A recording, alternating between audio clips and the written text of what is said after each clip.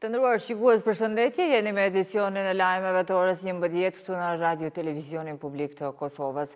Bashkimi Evropian ka publikuar raportin për të drejtat e njeriut në të gjithë botën përfshirë edhe Kosovën. Sipas raportit, situata në veri të Kosovës mbetet sfiduese, veçanërisht sa i përket gjykimit të korrupsionit, krimit të organizuar dhe kushteve për lirinë e shprehjes, përfshirë sulmet ndaj profesionistëve të medias. Raporti thekson se dorëheqja e serbëve të Kosovës nga institucionet publike dhe ngritja e postbllokeve pasuese ndikuan negativisht në situatën e sigurisë dhe sundimin e ligjit në rajonin verior, ku sistemi i drejtësisë dhe policia funksionojnë me kapacitete të reduktuara. Ndër të tjera, në raport theksohet se procesi zgjedhor i Kosovës ka ende nevojë për fuqizim për t'i adresuar dobësitë gjatë gjithë ciklit zgjedhor. Në kuadër të marrëveshjes për shtensionim, Kosova është zotuar edhe për zgjedhje të parakohshme në katër komunat veriore të vendit, por ky proces pritet të bëhet përmes peticionit qytetar e jo dorëheqjeve të kryetarëve. Në këtë drejtim, Ministria e Administrimit të Pushtetit Lokal ka nisur hartimin e udhëzimit administrativ, i cili do të vlejë jo vetëm për komunat në veri, por për gjithë komunat në Kosovë. Ministri Elbert Krasniqi ka thënë se grupi punues i themeluar duhet ta finalizojë projektudhëzimin administrativ dhe ta procedojë atë deri me datën një shtator. Shtatori është muaji kur parashihet të finalizohet udhëzimi i ri administrativ mbi organizimin e peticioneve për largimin e kryetarëve e cila do t'u hapë rrugë zgjedhjeve të parakohshme në katër komunat veriore të vendit. Por sipas ministrit të Administrimit të Pushtetit Lokal, Elbert Krasniqi, ky udhëzim do të vlejë për të gjitha komunat, jo vetëm për ato të veriut. Grupi punus ka afat një muj që ta bëjë draftin e këtij udhëzimit administrativ, faktikisht të përfundojë edhe konsultimet publike dhe mandej të jetë nga një shtatori si udhëzim administrativ në cilin mund të referohen qytetarët që kanë për qëllim organizimin e peticioneve për largimin e kryetarëve. Krasniqi foli edhe për mandatin e kryetarëve në katër komunat veriore. Dorëheqja e secilit kryetar komunës nuk mund të kërkohet nga asnjë institucion tjetër ose nga asnjë autoritet tjetër për shkak se mandati është personal dhe kryetari e ka fitu atë mandat. Kështu që kërkesa për largimin e kryetarëve ose dorëheqjen e kryetarëve është kërkesë e Serbisë.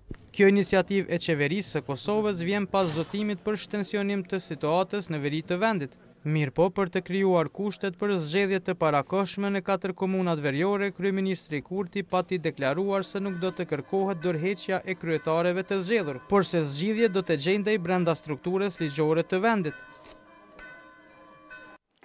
E dy shtetasit serbë, Sinisha Jevtiq dhe Ivan Sekuliq, kanë pranuar fajësinë për pjesëmarrje në turma dhe huliganizëm në Leposaviq, Në ditën kur u lënduan afër tridhjetë pjesëtarë të KFOR-it dhe u sulmuan policia e mediet. Ata kanë dalë para Gjykatës Themelore në Prishtinë, ku kanë shprehur pendim për veprat të cilat u ngarkohen. Pasi dy shtetasit serbë pranuan fajësinë, prokurorja Fejzullahu kërkoi nga gjykata që t'i shpallë fajtorë dhe të dënohen sipas ligjeve, kurse mbrojtja e të akuzuarve propozoi që gjykata të marrë parasysh si rrethanë lehtësuese pranimin e fajësisë, bashkëpunimin me organet e drejtësisë, si dhe pendesën e shprehur. Gjykata pritet që sot ta nxjerrë aktgjykimin për ta.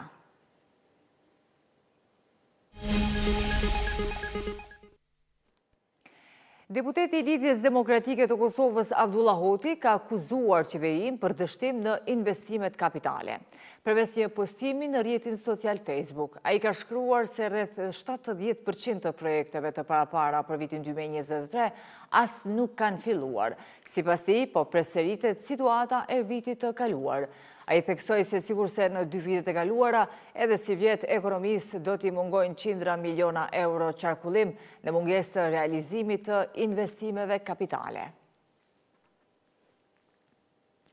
Në anën tjetër, Banka Qendrore e Kosovës ka njoftuar se norma më e lartë e rritjes së kreditimit u shënua në sektorin bankar të Kosovës me 16.1%, pasuar nga Maqedonia e Veriut me 11.6% dhe Mali i Zi me 9%.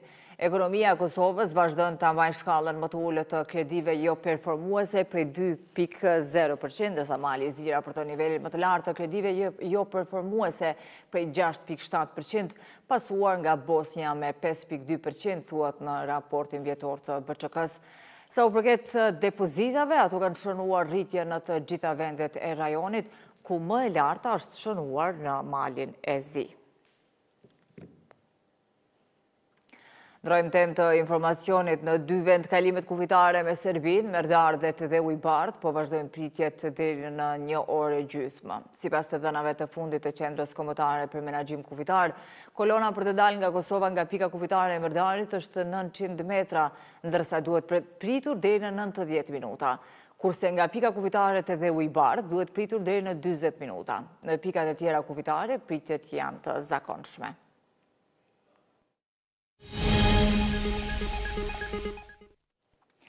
Flasim tani për një temë nga shëndetësia, Klinika e Pediatrisë vazhdon të jetë e mbingarkuar me fëmijë të spitalizuar, sidomos pas virozave të fundit. Kjo mbingarkesë është edhe më problematike, duke qenë se për shkak edhe të kohës së pushimeve, ka mungesë të infermierëve.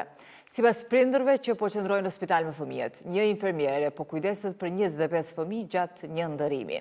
Në anën tjetër, menaxhmenti i SHSKUK-së paralajmëron riorganizim të stafit.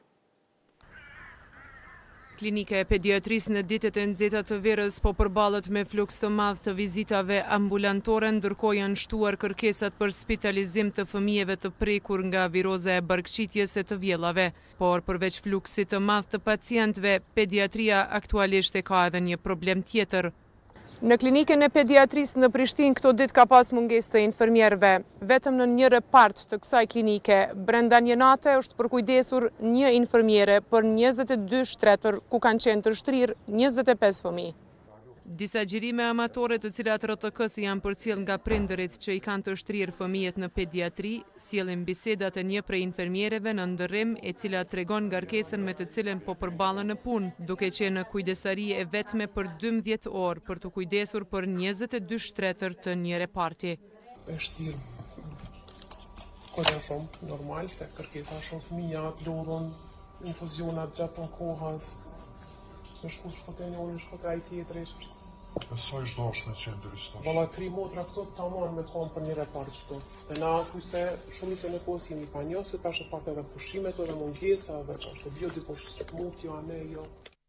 Shërbimi Spitalor Universitar i Kosovës në një përgjigje me shkrim i ka thënë RTK-së se menaxhmenti i emëruar së fundmi është në fazën e analizës së gjendjes nëpër klinikat e QKUK-së, ku mes tjerash po analizohet numri i infermierëve aktual dhe shpërndarja e tyre.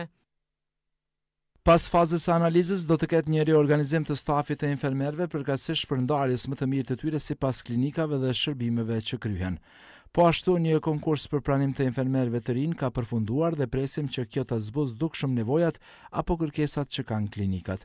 Këta infermierë do të shpërndahen së shpejti nëpër klinika, përfshirë edhe Klinikën e Pediatrisë.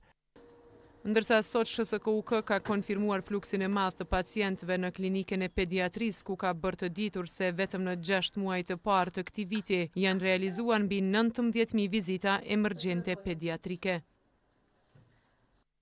Shqetësim për qytetarët është bërë numri i madh i parave të falsifikuara në treg. Vetëm për gjashtë muaj, katërqind e tetëdhjetë e gjashtë raste janë raportuar në Policinë e Kosovës. Ndërkaq disa kompani, në pamundësi për të blerë pajisje për detektimin e parave false, kanë ndaluar pranimin e monedhës dyeuroshe. Por, përveç monedhës dyeuroshe, edhe kartëmonedha prej 50 euro po haset në disa raste e falsifikuar. Kështu detektohen paratë false të cilat janë kthyer në shqetësim për qytetarët dhe shumë kompani e që në pamundësi për t'i siguruar këto pajisje kanë vendosur që paratë më të piketuara për falsifikim të mos i pranojnë fare. Kjo është monedha e falsifikuar, ndërsa kjo është monedha mostër apo origjinale. Një vendim të tillë me monedhën dy euro e ka marrë kompania rajonale e ujësjellësit Prishtina. Ne e kemi ndërprerë një marrjen e këtyre monedhave derisa të gjejmë mundësinë për blerjen e ndonjë detektori që do i detektojë edhe monedhat metalike. Përveç kompanisë së ujësjellësit, vendimin e njëjtë muaj më parë e kishte marrë edhe kompania Prishtina Parking. se rastet e falsifikimit të parave janë kthyer në trend shqetësues, e thonë edhe të dhënat nga Policia e Kosovës.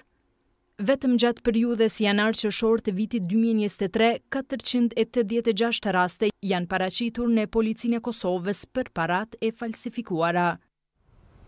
Ndërkaq, të dhënat e tjera japin nga Agjencia e Kosovës për Forenzikë. Kartëmonedhave kemi treqind e nëntëdhjetë e dy raste me dy mijë e katërqind e dymbëdhjetë dëshmi. Prej tyre, kartëmonedha më e falsifikuar rezulton pesëdhjetë euro me një mijë e dyqind e tridhjetë kartëmonedha. Monedha metalike i kemi pas gjashtëdhjetë e një raste me katërmbëdhjetë mijë e dyqind e katër dëshmi, do të thotë monedha. Prej tyre prin si zakonisht 2 euro. Sipas Agjencisë së Kosovës për Forenzikë, kartëmonedhat prej njëqind eurove kanë qenë më të falsifikuara vitin e kaluar. Komuna e Prishtinës ka njoftuar se nga sot një pjesë e parkingut në rrugën Dritan Hoxha, më saksisht prapa Pallatit të Rinisë, do të mbyllet përkohësisht. Parkingu do të jetë i mbyllur deri më datën trembëdhjetë gusht. Komuna ka apeluar te qytetarët që në rast mungese të vendparkingjeve të kërkojnë hapësira në parkingjet alternative, thuhet mes të tjerash në njoftimin e Komunës. Do të kalojmë tani me informacione nga Shqipëria. Parku Kombëtar Arkeologjik i Apolonisë është kthyer në një nga destinacionet e preferuara të vizitorëve të shumtë. Kronikë e përgatitur kjo nga kolegët tanë nga RTSH. Fluksi i turistëve në Parkun Kombëtar Arkeologjik të Apolonisë nga viti në vit po njeh një rritje të ndjeshme, duke u kthyer në një ndër destinacionet më të preferuara turistike në vend. Sipas drejtuesve të parkut, Kjo duket në grupet turistike krahasuar me një vit të kaluar, ka një rritje prej shtatëdhjetë e pesë për qind të numrit të turistëve, duke sjellë fluksin në nivelet e periudhës së para pandemisë. Dy vizitorë gjermanë pohojnë të impresionuar nga vizita në Apoloni në këtë fillim gushti. Ata thonë se kishin lexuar dhe studiuar histori arti dhe e njihnin më parë Apoloninë. Unë e kam vizituar Apoloninë në vitin një mijë e nëntëqind e nëntëdhjetë e gjashtë. Pas kaq vitesh, s'më besohet ende për ndryshimet e bëra këtu si një film bardhezi. Jo vetëm në shërbimet në park, por edhe në infrastrukturën rrugore që të çon drejt parkut, kanë ndryshuar krejt. Ne mbetëm të befasuar teksa atë që kishim lexuar për qytetin antik të Apolonisë e përjetuam dhe e prekëm vetë. Kjo është një pasuri e madhe e njerëzimit. Përveç fluksit të turistëve, mysafirët e veçantë në Parkun Arkeologjik të Apolonisë janë edhe çiftet e reja. Dy të rinj durrsakë që prej vitesh jetojnë në Gjermani, Zabiti dhe Marcela, kanë zgjedhur pikërisht këtë vend të mrekullueshëm për të realizuar videoklipin e dasmës së tyre. Ideja jonë e videoklipit ishte që të ndërthurnim të vjetrën me modernën dhe Apolonia ishte një vend perfekt për ta bërë këtë gjë. Apolonia është një ndër vendndodhjet më të mëdha arkeologjike të Shqipërisë, por edhe një ndër qytetet më të mëdhenj të botës antike. Si një ndër njëzet e shtatë apolonitë e pellgut të Mesdheut, ajo është një nga vlerat dhe perlat e trashëgimisë sonë arkeologjike.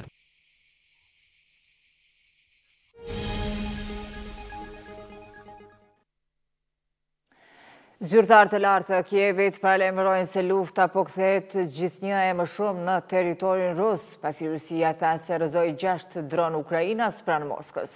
Ndërkohë janë rritur tensionet në kufirin e Polonisë me Bjellorusinë, pasi trupat e grupit mercenar Wagner janë afruar. Rusia tha se rrëzoi 6 dronë ukrainas pranë Moskës, i fundit në një seri sulmesh të tilla të supozuara pasi zyrtarë të lartë të Kievit paralajmërojnë se lufta po kthehet gjithnjë e më shumë në territorin rus. Më shumë se 10.000 civilë janë vrarë dhe mbi 15.000 të tjerë janë plagosur që nga fillimi i pushtimit rus në shkurt 2022, tha Departamenti i Krimeve të Luftës në Ukrainë. Sa i përket presionit rus, Moska po i detyron ukrainasit në territoret e pushtuara të pranojnë nënshtetësinë ruse duke u angazhuar në një shtytje sistematike për ta bërë të pamundur që banorët të mbijetojnë në shtëpitë e tyre, thuhet në një raport të ri nga laboratori humanitar i Yale. Shkeljet e detajuara në raport janë krime klasike lufte, thanë hetuesit për CNN. Ndryshe Polonia ka shprehur një protestë të fortë kundër Bjellorusisë, ndërsa Varshava thirri të ngarkuarin me punë të Minskut, pasi dy helikopterë ushtarakë thuhet se hynë në hapësirën ajrore polake së fundmi. Tensionet po rriten në kufirin e Polonisë me Bjellorusinë, pasi mercenarët e Wagnerit u afruan më pranë territorit të anëtarit të NATO-s. E për bisedimet e paqes, kreu i zyrës së presidentit ukrainas tha se ekipi i tij po përgatitet për një samit të ardhshëm në Arabinë Saudite.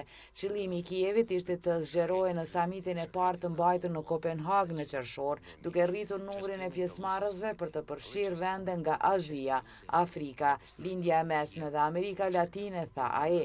Rusia nuk pritet të marrë pjesë në bisedime. Të nderuar shikues, ishte kjo e tëra që kishim përgatitur për këtë edicion të lajmeve. Sigurisht për këto dhe informacionet më të reja të ditës, takohemi në edicionin e radhës. Faleminderit për vëmendje, mirupafshim.